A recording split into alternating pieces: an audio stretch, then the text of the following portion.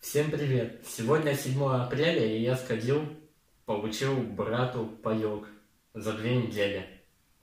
Решение выдавать паёк учащимся начальной школы было принято губернатором Приморского края. Паёк выдается во время карантина. В него входит 2,5% молоко, три маленьких молока, которые дают брату в начальной школе на обедах. Маленький грушевый сок, два штуки. Два йогурта. Три батончика, ну как конфеты. Рис